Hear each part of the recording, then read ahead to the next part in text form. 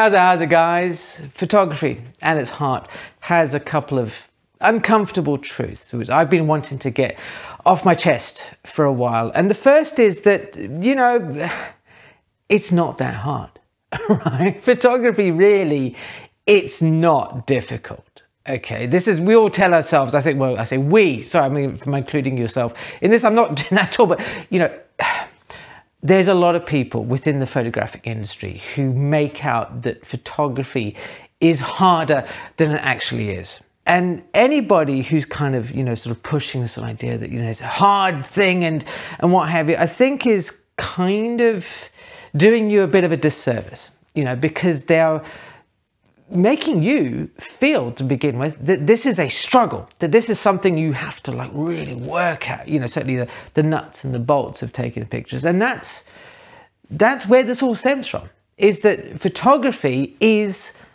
it's a technical process. It can be repeated over and over and over again, right?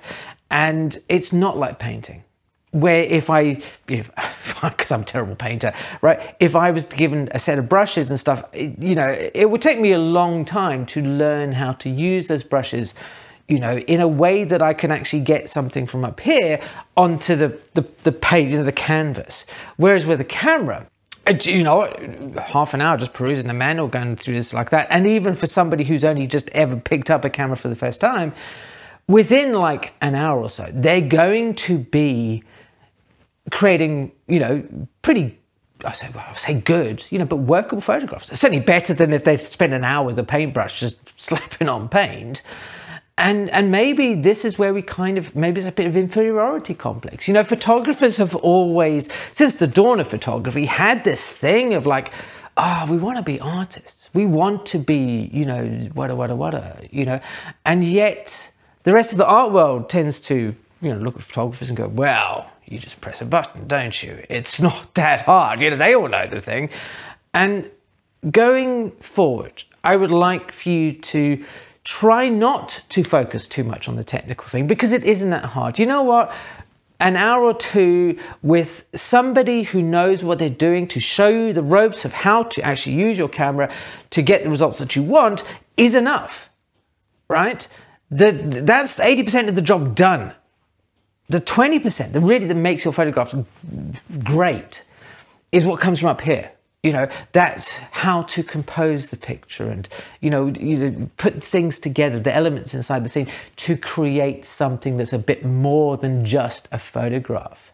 So anybody who is telling you that photography is hard that you know it needs a lifetime of experience to master the effort they're not telling you the whole truth. They're telling you that maybe that they kind of feel left behind somewhat. You know, there are professionals obviously who have had a lifetime of experience and knowledge and who who grew up in a world where photography wasn't as accessible as it is now, as easy now, you know, because it is. It's a little lie about, let's not beat around the bush.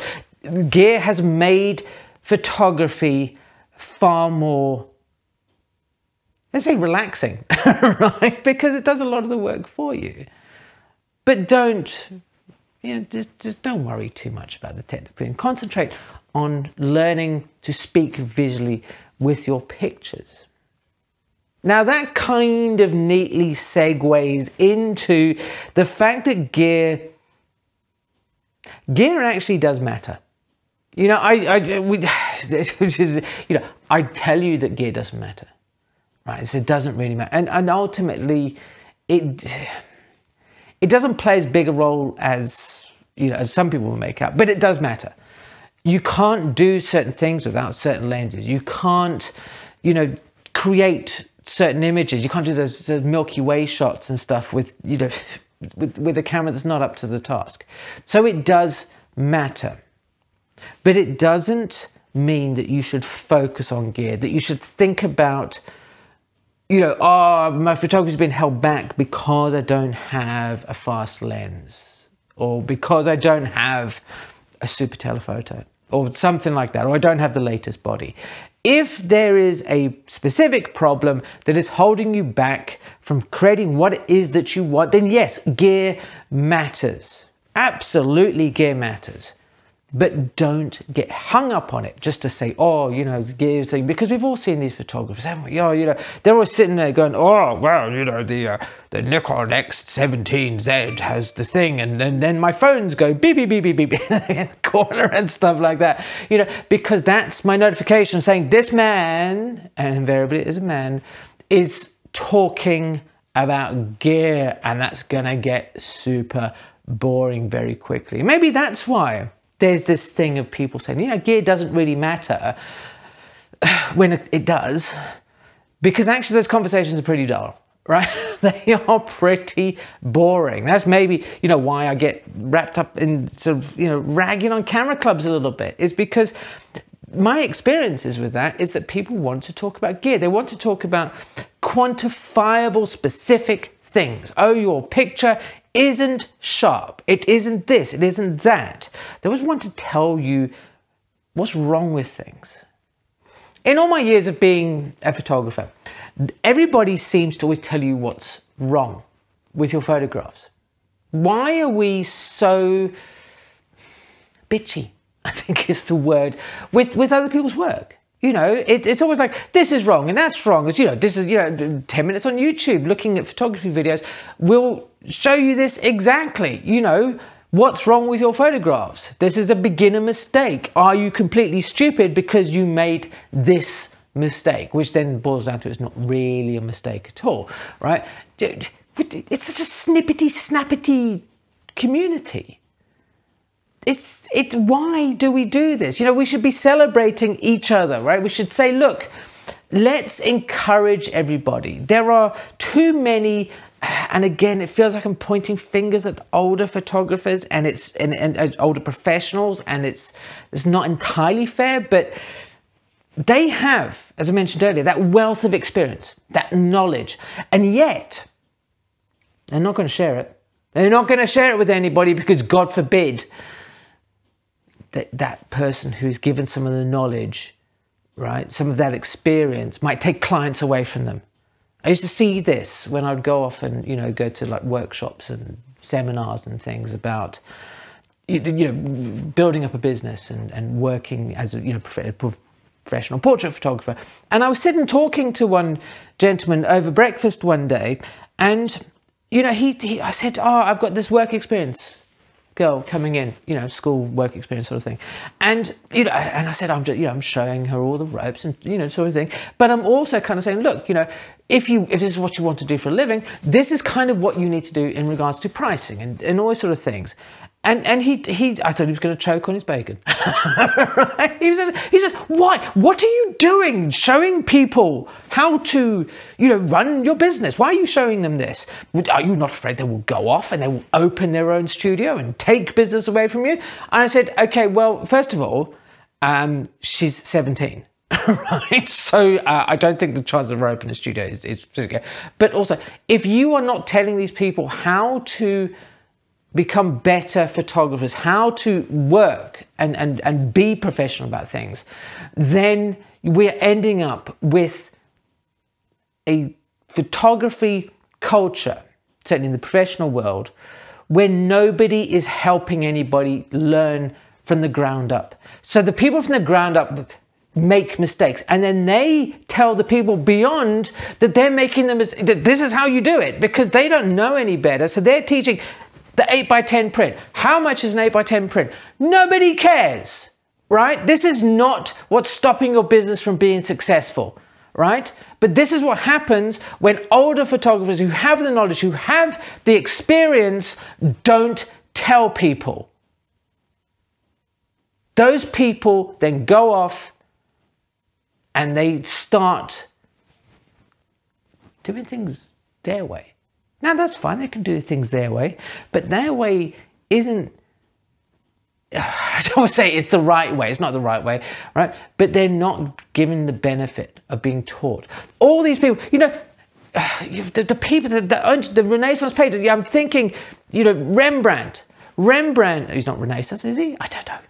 Who knows, right? It's, it's a doubt for my birthday, I don't know, right? But he had a don't want to say factory, you know, a workshop. of people who were learning, apprentices who were learning how to paint like Rembrandt, Van Dyck, all these Dutch people. You know, it felt like a bit of a factory, it was a bit of a churn out sort of thing but they were learning. They were learning the ropes. All the great photographers, you know, the Avedons and the Penns and all these sort of people. And up to today, they apprenticed with people. They, they learned from each other. They were gracious in sharing and spreading their knowledge. Not in a kind of like, that's wrong, this wrong, I would do this, and you, you know, made five beginner mistakes. But encouragement. I would, I, if you do one thing in 2023, I want you to start encouraging other photographers to becoming more of themselves.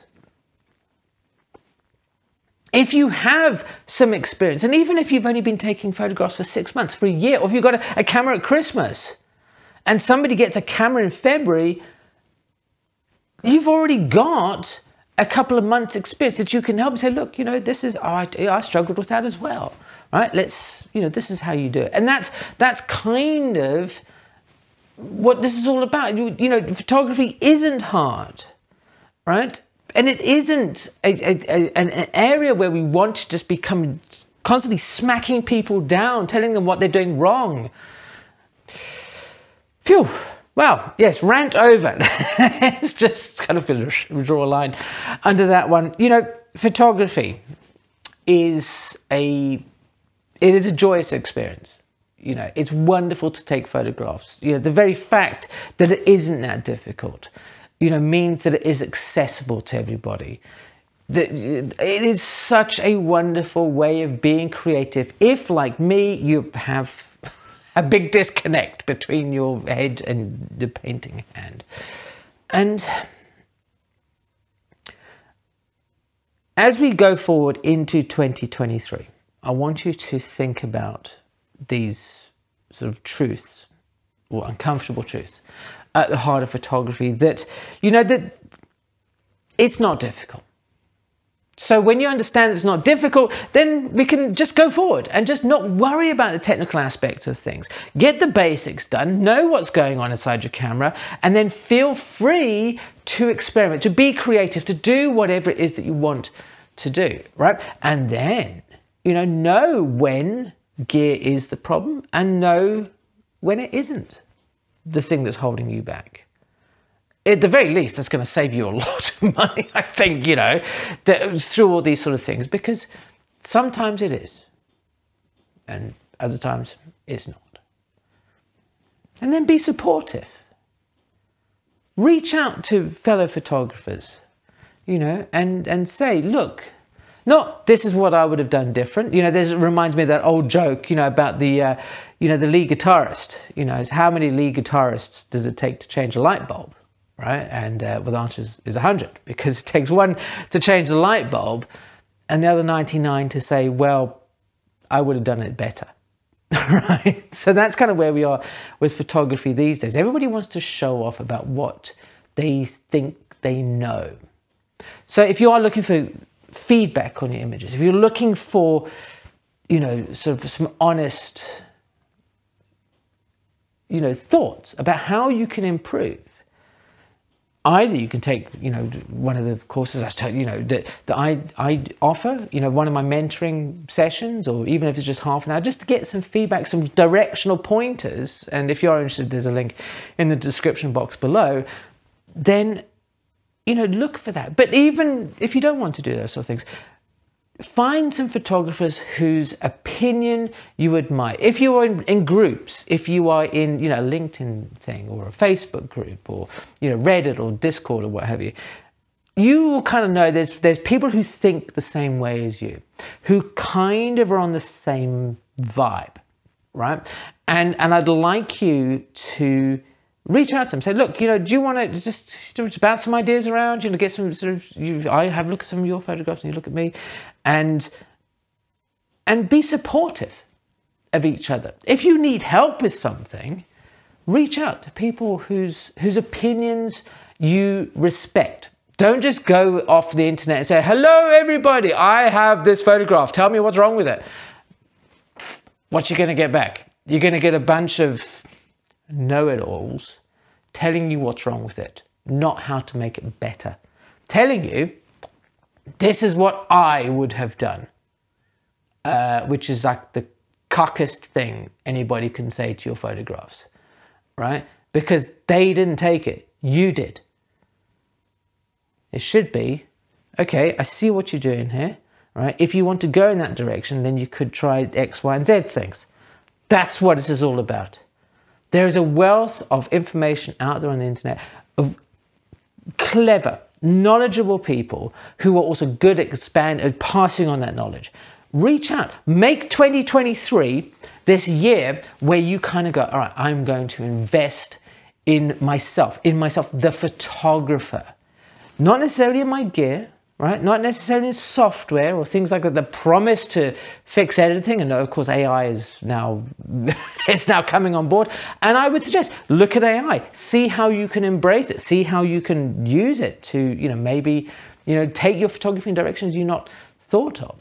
To get some feedback on your photography and to give you prompts of directions that you can go in to become the very best photographer that you can be, there's a link in the description box below to my one-to-one -one sessions. Thank you ever so much for watching and check out this video here. I'll see you again soon.